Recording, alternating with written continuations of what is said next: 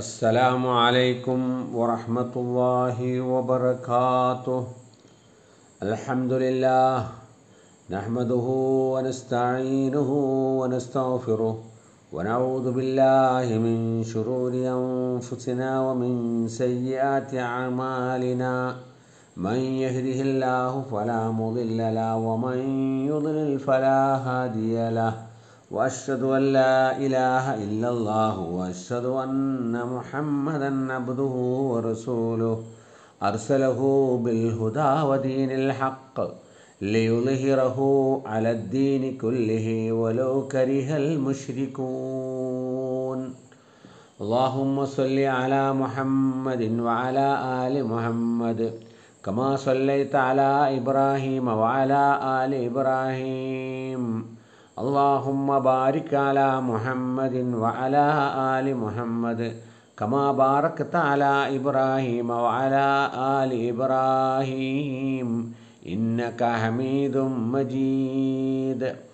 أما بعد فإن خير الحديث كتاب الله وخير الهدي هدي محمد صلى الله عليه وسلم وشر الأمور محدثاتها وكل محدثة بدعة وكل بدعة ضلالة. أيها الناس أوصيكم وإياي أولا بتقوى الله. يا أيها الذين آمنوا اتقوا الله حق تقاته ولا تموتن إلا وأنتم مسلمون. أعوذ بالله من الشيطان الرجيم. بسم الله الرحمن الرحيم. يا أيها الذين آمنوا إنما الخمر والميسر والأنصاب والأزلام رجز من عمل الشيطان. رجز من عمل الشيطان فاجتنبوه لعلكم تفلحون. സ്നേഹം നിറഞ്ഞ സത്യവിശ്വാസികളെ സത്യവിശ്വാസിനികളെ പ്രപഞ്ചത്തിന്റെ സൃഷ്ടാവായ അള്ളാഹുവിന്റെ നിയമങ്ങളും നിർദ്ദേശങ്ങളും ജീവിതത്തിന്റെ സകലമായ രംഗങ്ങളിലും പാലിച്ച് അള്ളാഹുവിന്റെ തക്കവയുള്ള മുത്തക്കീങ്ങളായി മുഅ്മിനീങ്ങളായി ജീവിതം നയിക്കണമേ എന്ന് എല്ലാ ഓരോരുത്തരെയും ഉണർത്തുകയാണ് ഉത്ബോധിപ്പിക്കുകയാണ്.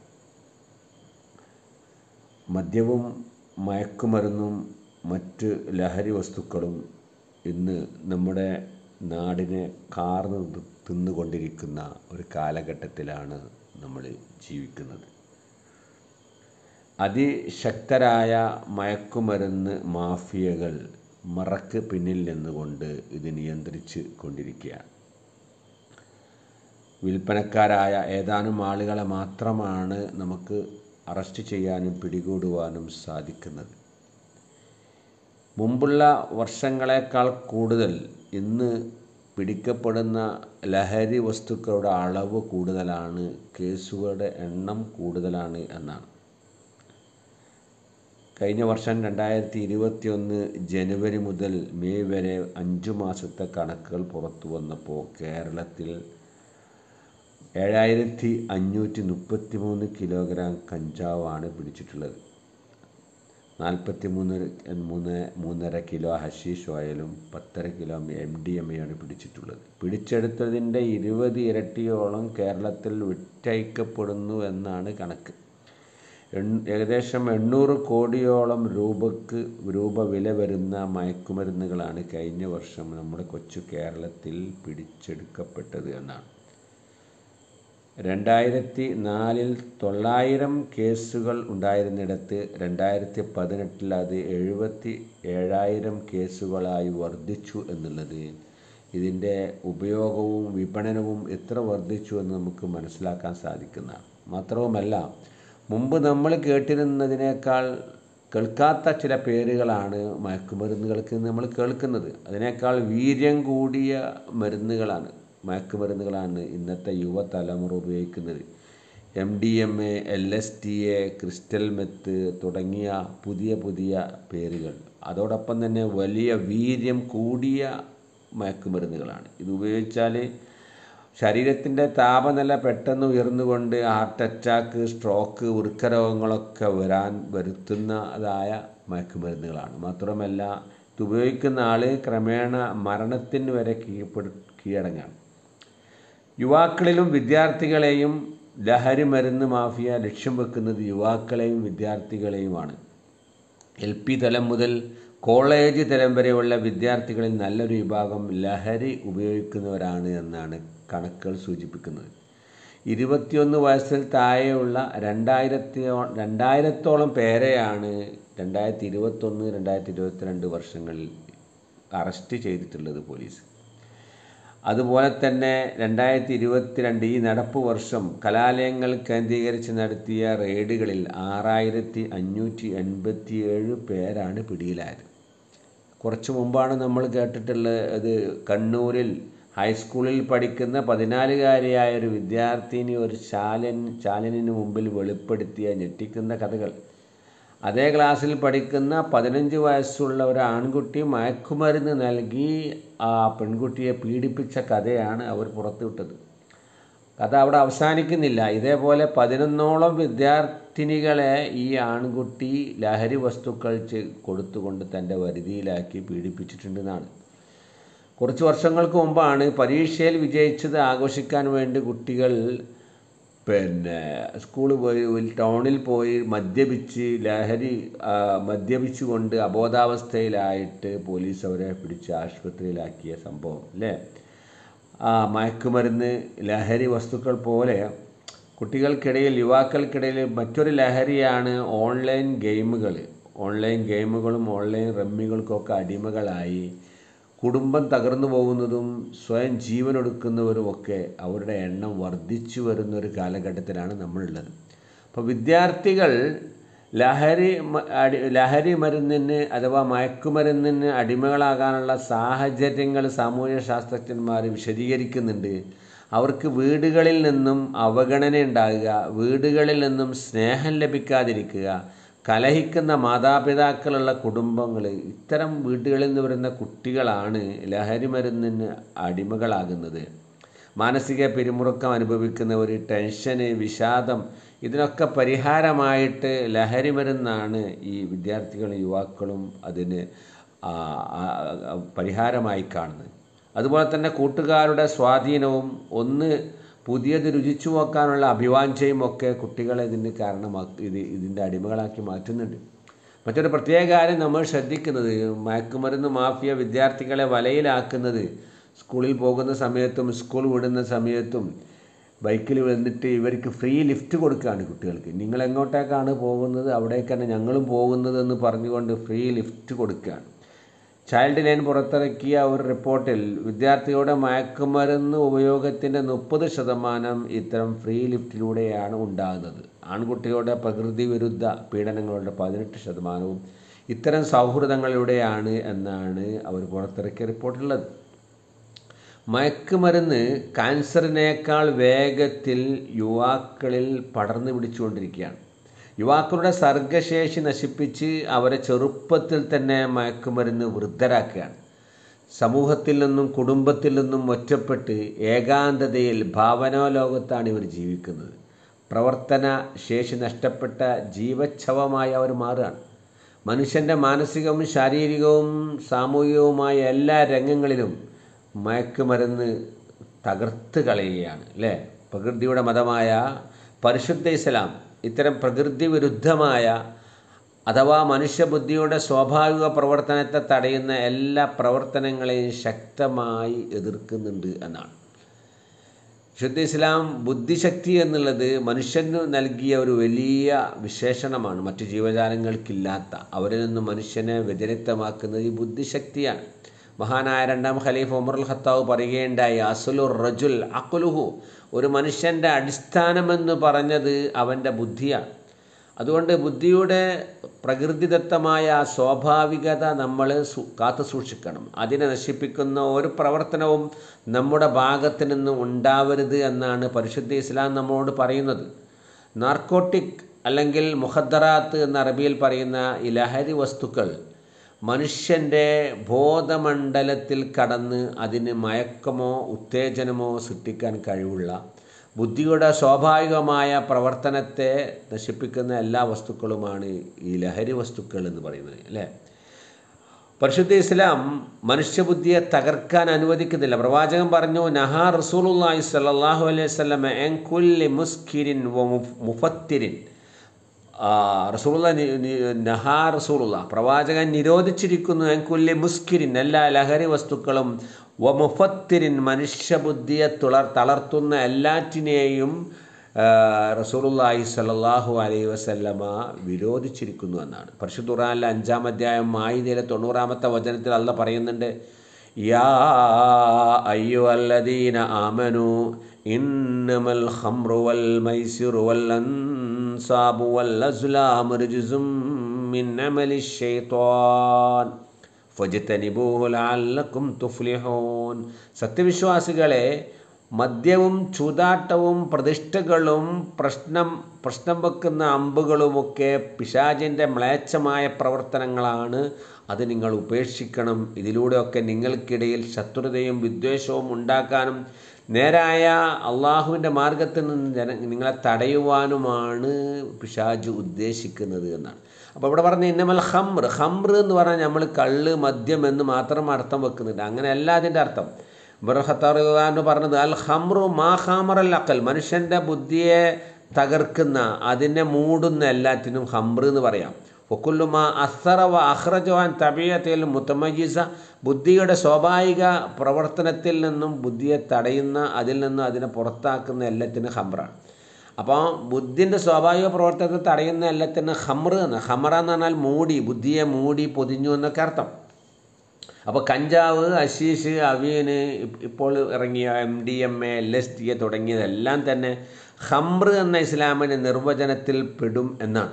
ഇതെല്ലാം തന്നെ ഇസ്ലാം നിരോധിച്ചിട്ടുണ്ട് ഇത് പിശാജിൻ്റെ പ്രവർത്തനങ്ങളാണ് സൂറത്ത് ആറാഫ് മുപ്പത്തി മൂന്നിൽ പറയുന്നുണ്ട് قل إنما حرم ربي الفواحش ما ظهر منا وما بطن എൻ്റെ റബ്ബ് താ എല്ലാ നീച പ്രവൃത്തികളെയും നിഷിദ്ധമാക്കിയിരിക്കുന്നു മാ ലഹറ മിന്ന അതിൽ നിന്നും പ്രകടമായതും വമാ ബത്തന പ്ര- പരോക്ഷമായതും ആളുകൾ കാണാതെ ചെയ്യുന്ന പരോക്ഷമായതും എന്നാണ് അപ്പം മുഴുവൻ ലഹരി വസ്തുക്കളും ഇസ്ലാം ഹറാമാക്കിയാണ്. അത് ഖരവസ്തുക്കളാണെങ്കിലും ദ്രാവകമാണെങ്കിലും വാതകമാണെങ്കിലും വാസനിക്കണതാണെങ്കിലും ഇഞ്ചക്ഷനാണെങ്കിലും അത് നോർമലായി കൃഷി ചെയ്യുന്ന കഞ്ചാവ് പോലെയുള്ളതാണെങ്കിലും കെമിക്കലായി ഉണ്ടാക്കുന്ന M D M A L S D ആണെങ്കിലും ഇതൊക്കെ എല്ലാം ഇസ്ലാം ഹറാമാക്കുന്നു.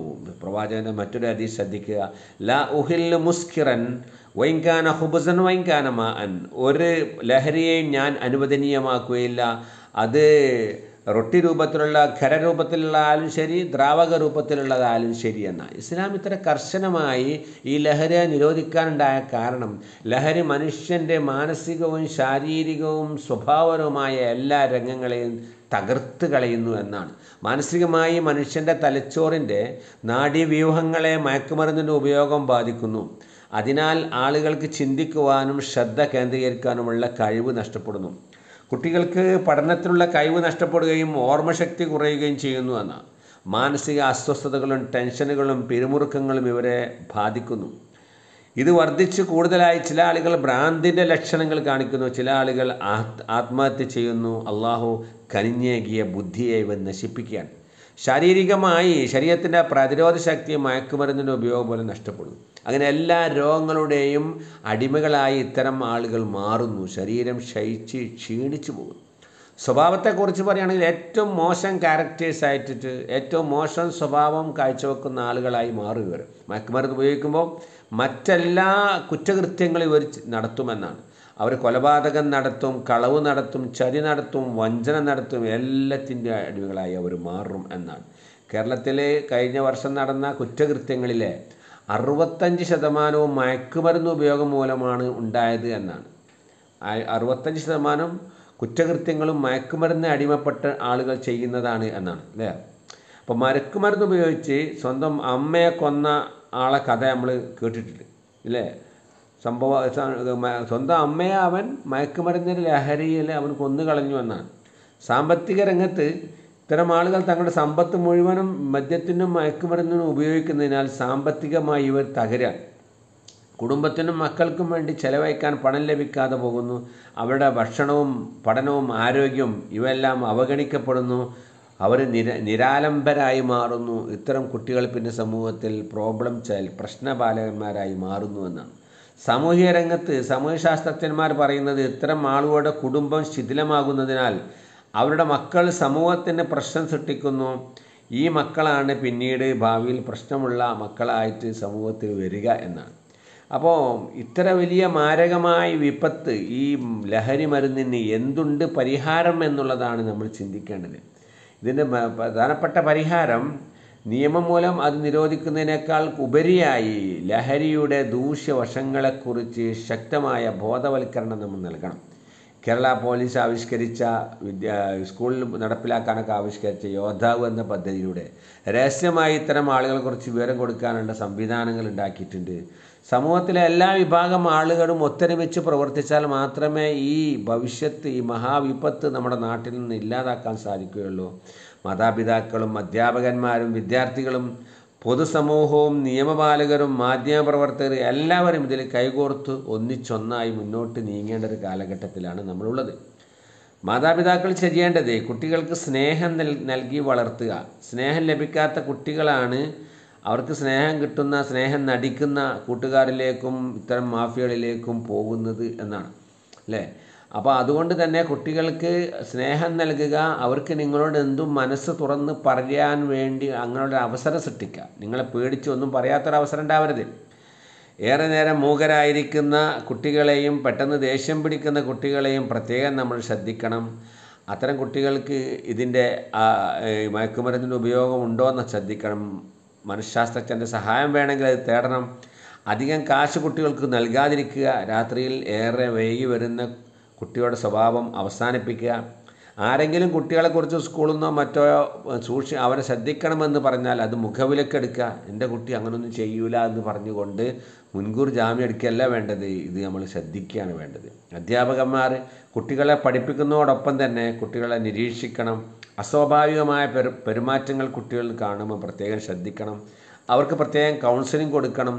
പഠിപ്പിക്കൽ മാത്രമല്ല തന്റെ പിരീഡ് പഠിപ്പിച്ചു പോകുക എന്നുള്ള ആ തീ അതല്ല വേണ്ടത്. അതോടൊപ്പം തന്നെ കുട്ടിയുടെ സമൂലമായ എല്ലാ രംഗത്തും അധ്യാപകന്റെ ഇടപെടലുകൾ ഉണ്ടാവണം. വിദ്യാർത്ഥികൾക്കിടയിൽ നിന്ന് തന്നെ ലഹരിക്കെതിരെയുള്ള ശബ്ദം വിദ്യാർത്ഥികളുടെ ഭാഗത്തു നിന്നുണ്ടാവണം. അതിനവരെ അവരെ പ്രാപ്തനാക്കണം. എസ് പി സി അതേമാതിരി സ്കൗട്ട് എൻ സി സി പോലെയുള്ള സംഘങ്ങളെ ഉപയോഗപ്പെടുത്തിയും കൊണ്ട് അത്തരം അവരൊക്കെ ഉപയോഗപ്പെടുത്തിയും കൊണ്ട് കുട്ടികൾക്കിടയിൽ ലഹരി ഉപയോഗിക്കുന്ന ആളുകളെ നമുക്ക് കണ്ടെത്തുവാൻ സാധിക്കുമെന്നാണ്. പൊതുസമൂഹം വിദ്യാർത്ഥികൾക്കും യുവാക്കൾക്കും ലഹരി എത്തിച്ചു കൊടുക്കുന്ന സംഘങ്ങളെ കണ്ടെത്താൻ പൊതുസമൂഹത്തിന് കഴിയും. അവരെ നിയമപാലകർക്ക് മുമ്പിൽ എത്തിക്കാൻ വേണ്ടിയുള്ള പ്രവർത്തനം അവരുടെ ഭാഗത്തു നിന്ന് ഉണ്ടാവണം. മൗനവും നിസ്സംഗതയും അപകടം വരു വരുത്തി വെക്കുമെന്നാണ്. സ്കൂളിനടുത്തുള്ള ഷോപ്പുകളും കടകളൊക്കെ നമ്മൾ ശ്രദ്ധിക്കണം. അവിടെ എന്താണ് വിൽപ്പന നടത്തുന്നതെന്നാണ് നിയമപാലകരും മാധ്യമപ്രവർത്തകരും ഒക്കെ അവരുടെ പങ്ക് നിർവഹിച്ചുകൊണ്ട് മുന്നോട്ട് പോയാലേ നമ്മുടെ വരും തലമുറയെ നമുക്ക് കിട്ടുള്ളൂ. നമ്മുടെ വരും തലമുറ നശിപ്പിക്കപ്പെട്ടാൽ ഭൗതികമായി നമുക്ക് ഭാവി നഷ്ടപ്പെടുകയാണ്. ആഗോളതലത്തിൽ തന്നെ ഇന്ത്യയിലെ ബൗദ്ധിക തലം തകർക്കുവാൻ വേണ്ടിയുള്ള ശ്രമങ്ങളുടെ ഭാഗമാണ് ഇന്ത്യയിലേക്കുള്ള പിന്നെ മയക്കുമരുന്നിന്റെ കുത്തൊഴുക്ക് എന്ന് സംശയിക്കപ്പെടണം എന്നാണ് അധികാരിക കേന്ദ്രങ്ങൾ പറയുന്നത്. അതുകൊണ്ട് എല്ലാവരും ഈ രംഗത്ത് ഒത്തൊരുമിച്ച് പ്രവർത്തിക്കുക. കൊല്ലുക്കും റായിൻ കൊല്ലുക്കും മസ്ഊലിൻ അൻ റായിയത്തി എല്ലാവരും ഉത്തരവാദിത്തമുണ്ട്. എല്ലാവരുടെ ഉത്തരവാദിത്തത്തെക്കുറിച്ച് നമ്മൾ ചോ ചോദിക്കപ്പെടും എന്നാണ്. അപ്പോൾ അങ്ങനെ ശ്രമിച്ചാൽ ഈ മഹാവിപത്തിനെ നമുക്ക് തടയുവാൻ കഴിയും. അതോടൊപ്പം തന്നെ ഇത്തരം മയക്കുമരുന്നിന് അഡിക്റ്റായിപ്പോയ അടിമയായിപ്പോയ ആളുകളെ അതിൽ നിന്ന് മോചിപ്പിക്കാൻ വേണ്ടി ഡി അഡിക്ഷൻ സെന്ററിൽ നമ്മൾ കൊണ്ടുപോയി ചികിത്സിക്കണം. കേരള ഗവൺമെന്റിന്റെ കീഴിലുള്ള വിമുക്തി കേന്ദ്രങ്ങളിൽ എത്തിച്ച് ചികിത്സകൾ കൊടുക്കുന്നതിൽ നമ്മൾ അമാന്തം കാണിക്കാൻ പാടില്ല. എന്റെ കുട്ടിയെ അവിടെ കൊണ്ടുപോയാൽ നമുക്കൊരു പേരുദോഷമാണ് എന്നുള്ള ചിന്ത എല്ലാം ഉണ്ടാവേണ്ടത്. കുട്ടിയെ രക്ഷപ്പെടുത്താനുള്ള മാർഗങ്ങളാണ് നമ്മൾ കണ്ടെത്തേണ്ടത്. ചികിത്സ പുനരധിവാസം പ്രതിരോധം ഇവയുടെ മാത്രമാണ് ഈ മഹാവിപത്തിനെ നമുക്ക് തടയുവാൻ കഴിയുക എന്നുള്ളത് നമ്മൾ മനസ്സിലാക്കുക. അതിനൊക്കെ പുറമെ നമ്മൾ ചെയ്യേണ്ട ഒരു പരിഹാരം അള്ളാഹുവെക്കുറിച്ചുള്ള ഭയവും ഭക്തിയും കുട്ടികൾ ഉണ്ടാക്കി കൊടുക്കുക എന്നുള്ളതാണ്. അതിനു വേണ്ടിയുള്ള ക്ലാസ്സുകളിൽ അവരെ പങ്കെടുപ്പിക്കുക. നമ്മൾ അത്തരം ക്ലാസ്സുകൾ ആളുകൾ വിളിച്ചാൽ പറയൽ അവൻ സ്കൂളിലെ പരീക്ഷയ്ക്ക് മുടങ്ങും അവൻ പത്താം ക്ലാസ്സിലാണ് എസ് എസ് എൽ സിക്കാണ് അവന് മതപഠനത്തിന് വന്നാൽ അവൻ എന്താണ് അവന്റെ എ പ്ലസ് നഷ്ടപ്പെടുന്ന. ഇത് എ പ്ലസ് അല്ല കുട്ടി തന്നെ നഷ്ടപ്പെട്ടു പോവാണ്. അതുകൊണ്ട് ഇത്തരം ക്ലാസ്സുകളും ഇത്തരം ബോധങ്ങളും നിങ്ങൾക്ക് ലഭിക്കണമെങ്കിൽ അത്തരം ക്ലാസ്സുകളിൽ കുട്ടികൾ പങ്കെടുപ്പിക്കണം. അവർക്ക് ആ ബോധം ഉണ്ടാക്കണം. അപ്പം പരിചയമില്ലാത്ത ആളുകൾ വന്നാൽ അവരോട് നോ എന്ന് പറയാനും പരിചയമില്ലാത്ത ആളുകളെ പിന്നെ അവർക്ക് ഫ്രീ ലിഫ്റ്റ് വാഗ്ദാനം ചെയ്താൽ വേണ്ട എന്ന് പറയാനുമുള്ള തന്റെ ഇടം അവർക്ക് ഉണ്ടാകുമെന്നാണ് അള്ളാഹിനെ കുറിച്ചുള്ള ഓർമ്മ അവർക്കുണ്ടാവണം. പക്ഷെ ദുരാൻ പറയുന്നുണ്ട് ഒമൻ ذكري فإن له معيشة ضنكا. എന്റെ ഉത്ബോധനത്തിൽ നിന്നും എന്റെ ഓർമ്മയിൽ നിന്നും ആരെങ്കിലും അകന്നുപോയി അവഗണിച്ചു പോയാൽ അവനുള്ളത് മൈഷത്തം ലങ്ക ഇടുങ്ങിയ കുടുസായ ഒരു ജീവിതമാണ് അവനുള്ളത്. അവന്റെ ജീവിതം കുടുസായി പോകും ഇടുങ്ങിപ്പോകും അല്ലേ?